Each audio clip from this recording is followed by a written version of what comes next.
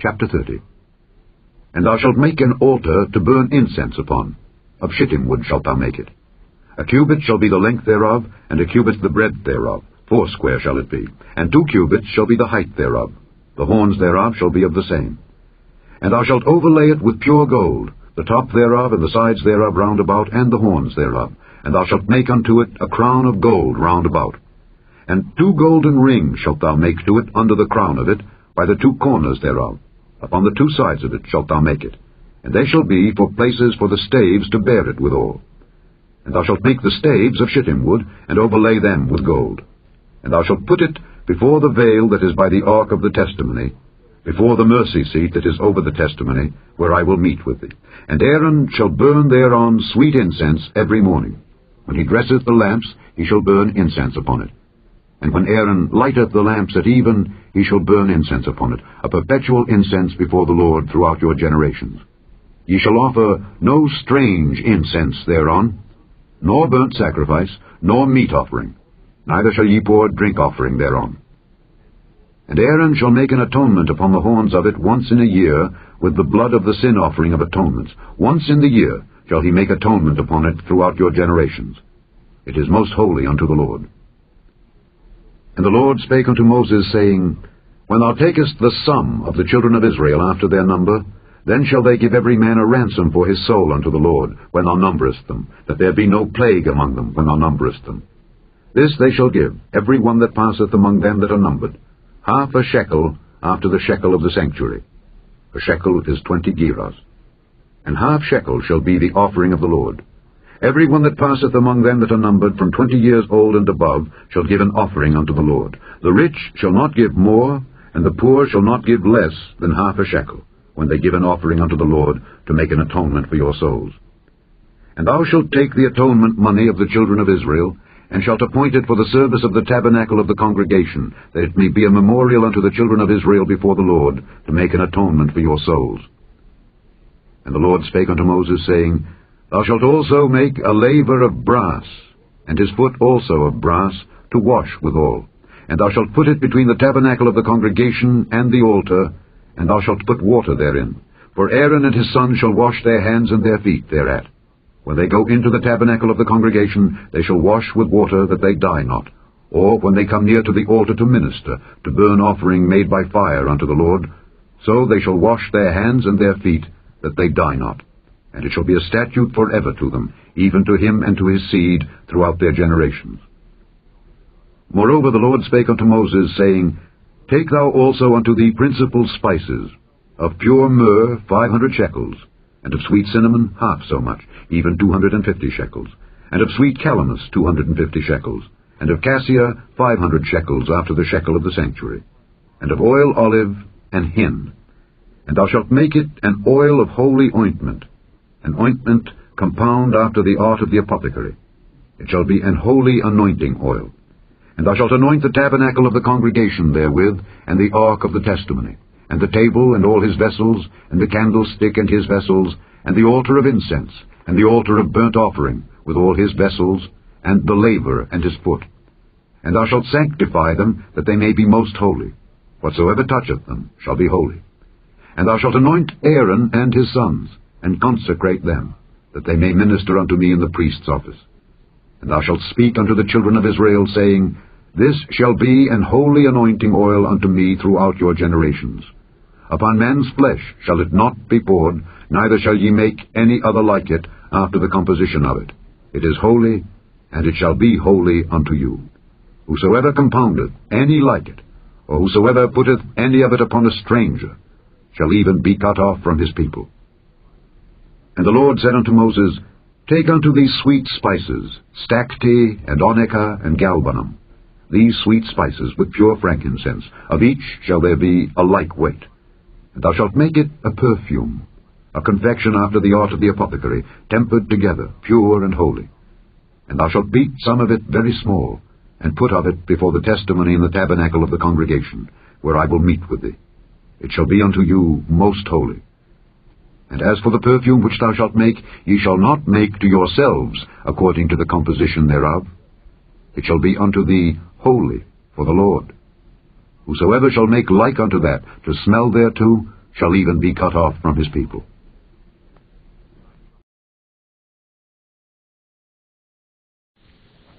Chapter 4 I therefore, the prisoner of the Lord, beseech you that ye walk worthy of the vocation wherewith ye are called, with all lowliness and meekness, with long-suffering, forbearing one another in love, endeavoring to keep the unity of the Spirit in the bond of peace. There is one body and one Spirit, even as ye are called in one hope of your calling. One Lord, one faith, one baptism, one God and Father of all, who is above all, and through all, and in you all.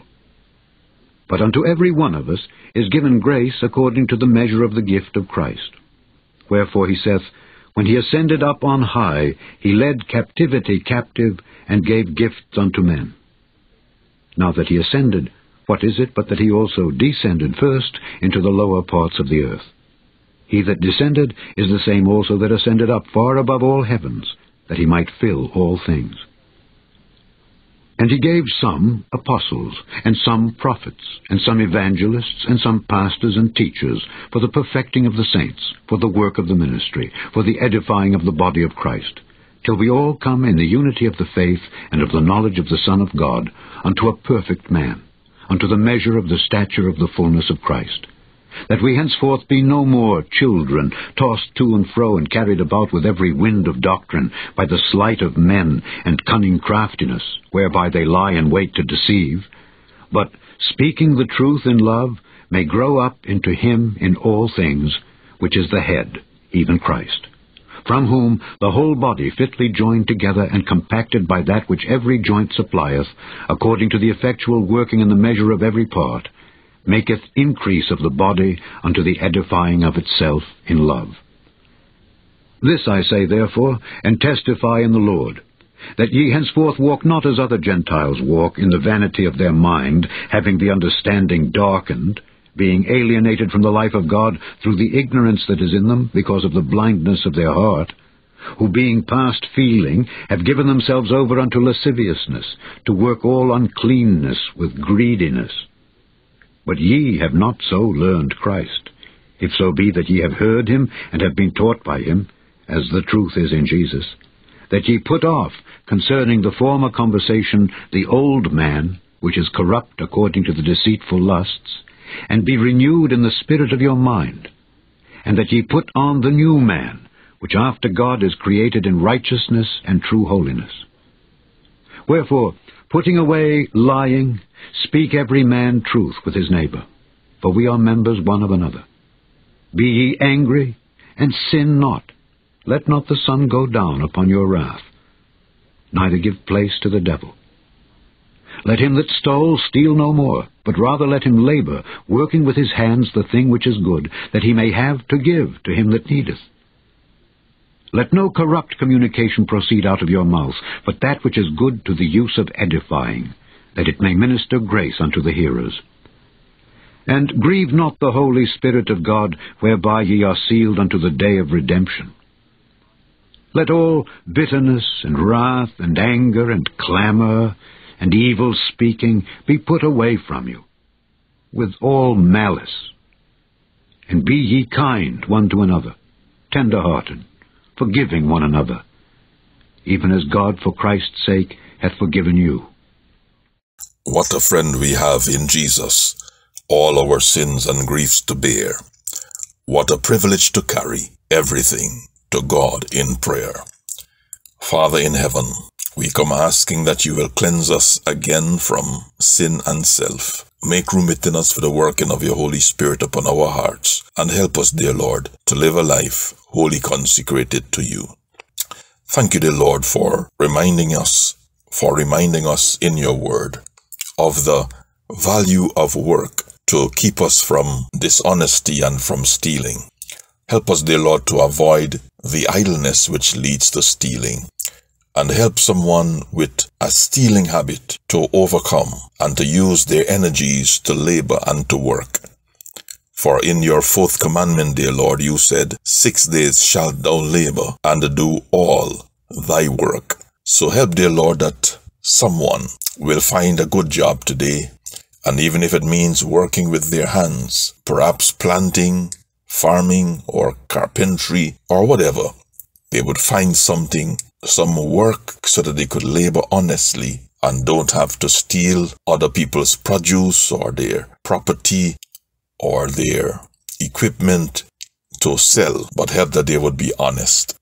We pray the Lord, number two, that you will help us to avoid the anger that leads to sin, that leads to quarrelings and fretting and abusings and sometimes even to fights and sometimes even to murder. Help us to heed your counsel, Lord, to don't let the sun go down on our wrath. Because by doing so, we give place to Satan and he tries to, to cause us to exhibit more and more of his attributes until we become like him, who from the beginning is a murderer and a liar. So, Father, give someone victory over an evil temper. And help them, Lord, not to hug it as if it is something good. Lord, sometimes we like to say, well, there's me, and I just talk, and this or I just talk. But help us, dear Lord, not to give place to Satan by saying that, but to see the anger problem as a fruit of Satan's attributes and not one of the fruit of the Spirit. For the fruit of the Spirit is love, then joy, peace, long suffering, gentleness, goodness, faith, meekness, and self control. So help, dear Lord, that our speech would testify that we are Christians. Give us victory over lying. Help us to speak honestly. Give us victory over corrupt communication and evil speaking, like gossiping and talking ill or bad things about people. Help us, dear Lord, to find good things to talk about people. For when all is said and done, Lord, except for Jesus, there can't be anything good in any of us. So help us, dear Lord, to speak well of others. And help, dear Lord, that our speech will testify that we are converted. Help us to speak gently and let our speech educate in a positive way. Father, help us not to grieve your Holy Spirit away when he comes to us and pleads with us to give our lives to Jesus Christ and to live a better way. You said we should not grieve the Holy Spirit away, for through him we are sealed for salvation. Help us, dear God, not to be like King Saul, who refused to be instructed and corrected by you until he committed suicide and died a lost soul. Help us not to be like Ephraim, who would not let go of idols until you had to say, Ephraim is joined to his idols. Let him alone. Dear God, so help us to respond in a positive way and say, Yes, Lord, yes, to your will and to your way. Yes, Lord, yes. I will trust you and obey when your spirit speaks to me. With my whole heart I'll agree, and my answer will be yes. Lord, yes. And Father, help us to treat others the way you treat us. Help us to be loving and forgiving. Help us to be respectful of others. Help us, dear God, to love one another. And Father, today we are lifting up this person before you. Seems to be someone who is soon to graduate from university or has just graduated. And this person, Lord, is looking for an internship. They are looking at internship sites to start working. I pray the Lord that they would find a good site where they can learn and where they can have a good supervisor who can guide them through the internship process. Somebody, Lord, who will be a good supervisor, gentle, and who will do their work diligently and not put pressure, undue pressure on the student who is learning. We pray the Lord that you would give them favor in this search so that they can find a site that pays during the internship so that this person could have help to offset their bills. Father, you promised guidance. You said in Psalm 32 8, I will instruct thee and teach thee in the way which thou shalt go. I will guide thee with mine eyes. So guide this person, Lord. They would click on the right site, or perhaps they would meet someone on the road, at a shop, in a supermarket, who will be the exact person to assist them along the way. So help this person, Lord, who is looking for an internship site to start working, that they will find a good site help they would find help that they would find a knowledgeable and excellent and a Christian supervisor who will guide them through the internship process and help their Lord that they would find an internship organization or site that will pay during the internship so that this person will have money to take care of their bills. And Father, remember all of the other requests that were placed before. We pray that you will fulfill each one. And we want to give you the honor, the glory, and the praise in advance. Thank you for being with that young man who buried his wife recently. We pray, the Lord, that you will strengthen him. Thank you for being with him and his, his family and his siblings and his mother. We pray, the Lord, that he will continue to serve you. And right there on the East Bank, he will testify of your goodness that he had some good years with this woman who bore him children. So take charge, Lord, and when you come the second time, may we have the joy of seeing you face to face as our Lord and Savior. And whatever else we did not pray for today, please grant, as you perceive we have need of. In Jesus' name we pray. Amen and amen.